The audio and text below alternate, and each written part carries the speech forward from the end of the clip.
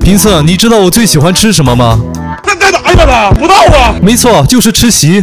蛮好玩的。众所周知，如果柯南在一座大楼里，那这座楼唯一的作用就是被炸。柯南也是天天除了破案就是吃席。此时的柯南正在电视台现场观看一场歌牌比赛，本来都一切正常，但当我看到电视台这座大楼时，我瞬间就明白了这场比赛的意义。柯南之所以会在此地，是因为毛利接到了房地产大亨，也就是正在录制的高月杯歌牌比赛的举办人老登的委托。至于委托的原因，我是真的看完了整部都没弄明白，因为这俩人从头到尾一共只说了两句话。ああそれなんですが どないしたもんかと。大会は予定通り開催するんでしょうか。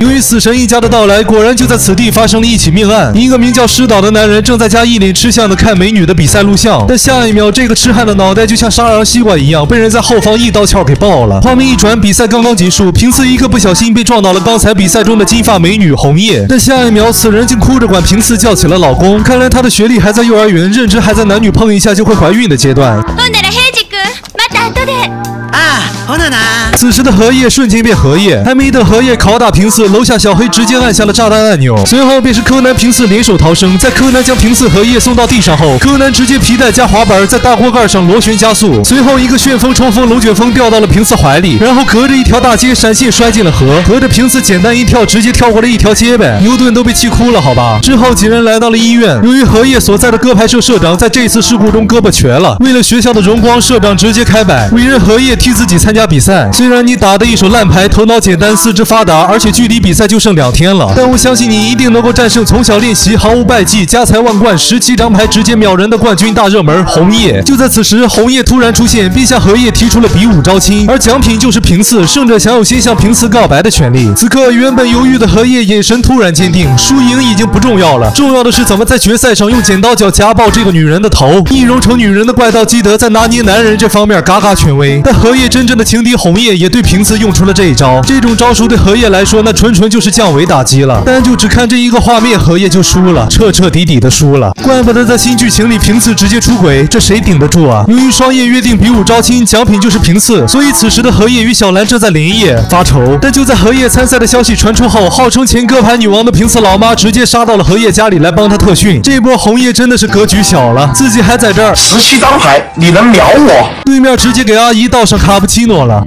ただ時間が足らんさかい稽古はきついもんになりますぜよろしくお願いします在这科普一下，歌牌考验的其实就是反应与速度。比如 DM 念出“床前明月光”，如果你能抢先对手拿到一世地上霜，那你就赢了。 就这样。与此同时，死了两天的痴汉尸体都快臭了，终于被警方发现。柯南与平次也是闻着味儿就赶到了现场，在一番搜查后，只发现了一堆散落的歌牌和在红叶钱包里看到的照片。随后，柯南便将这堆东西发给了工具人灰原，帮自己调查。转眼到了第二天，在高月会护送自家牌手去参赛的途中，突然一辆汽车爆炸，直接送了高月会一名牌手归西。随后，柯南赶忙跟警察开了个会。现在柯南在警厅的地位高到了，甚至都有了自己的位子。因为痴汉也是隶属高月会，所以众人认定凶手的目标就是高月会的成员。此时，柯南掏出了自己让会员查的照片，原来高月会是老登的妻子高月创建并得名，而照片中的大长脸则是另一个歌牌会会长，并且还是红叶的师傅。五年前，大长脸和高月约了场生死局，谁输谁解散厂牌。但比赛当天，大长脸却直接失踪，至今五年都下落不明。而高月也在三年前因病去世了。不过，因为电视台爆炸和痴汉的被害现场都留有大长脸擅长的歌牌，通过这几个啥也不是的线索，众人直接断定凶手就是这个失踪了五年的大长脸。柯南，你这波操作，福尔摩斯见了都得给你递烟吧？这人是有动机，但除了动机之外，他啥都没有。画面一转，柯南与平次追着老登会长一通磨牙后，老登终于道出了当年的实情。原来在大长脸和高月查价的前一天，两人就已经比过了一场。当天大长脸被高月精湛的牌技打得跟狗一样乱窜，所以第二天才直接没来，退隐江湖了。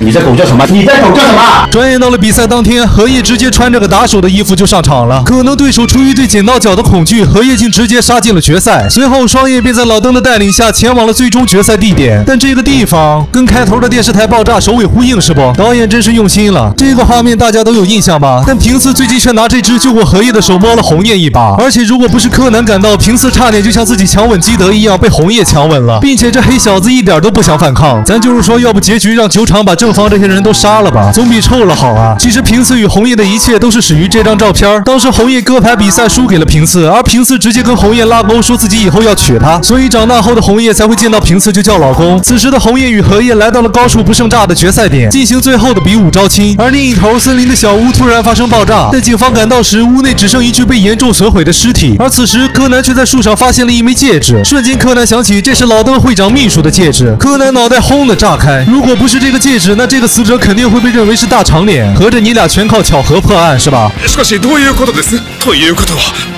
ターゲットは此时，真正的凶手呼之欲出，原来正是老登会长自导自演了这场戏，并且最后准备拉着双叶同归于尽。于是平次与柯南连忙骑车上山。路上，柯南讲到，其实大长脸与高月头一天的歌牌比赛，应该是长脸把高月打得乱窜。之所以大长脸失踪五年，应该是高月为了名声，当天就给大长脸干死了。所以向来都是比赛头一天洗车的高月，在第二天正式比赛时，那车脏的就跟刚碾碎了一座厕所一样，因为他知道大长脸根本来不了。而痴汉之所以会死，是因为他看录像时发现了粘在牌 台上的血迹。为了自己死去老婆的名声，老登直接派人敲爆了痴汉的头。事儿就是这么个事儿，挺扯的。此时平次直接一个旋风冲锋龙卷风爆射而出，一头脑进了双叶所在的木屋。而柯南也是直接皮带加皮球改变了瀑布流向，把下方的火给灭了。阿力掌握核心科技，随后便是一大一小开始拷打老登。原来在正式比赛的头一天，自己老婆高月确实输给了大长脸，然后一个弱女子就直接用收音机给大长脸爆头了。好家伙，你收音机这么硬，是叉 R 改的对吧？对不起，痴汉，你的头跟大长脸比起来，那真是邦邦硬啊！在老登回家发现妻子的暴行后，二话不说，直接藏尸这座高楼。然而这副决赛专用的歌牌却沾了大长脸的指纹，于是老登为了妻子的名声，直接炸电视台、炸阁楼，杀人放火，就为了把牌毁掉。这俩变态真是不是一家人不进一家门啊！但此时红叶却道出，师傅大长脸其实原本打算要在正式比赛输给高月的，因为这样自己厂牌解散，他的弟子便可以被高月会接纳。而提前一天跟高月约战，其实就是为了要赢他一场，听高月夸夸自己，因为高月是大长脸的初恋啊。此时老登听闻此言，心态直接炸了，而这座高楼也终于听不下去了，直接开摆。下一秒，柯南一脚把一块铁板踢得镶进了山里，自己平安脱险。差不多得了，这都行的吗？此时楼上只剩下了平次与荷叶，而两人直接骑上摩托，借着大楼的暴风，瞬间飞向了对岸的水池。这波啊，叫致敬柯南。平次也是老科迷了啊。随后池中的两人也是直接开始了鸳鸯戏水。故事最后，平次与红叶的婚约也终于揭晓。原来当初平次说的是我们都要变强，但红叶却听成了我要你当我的新娘。いおり撤収ですはいお嬢様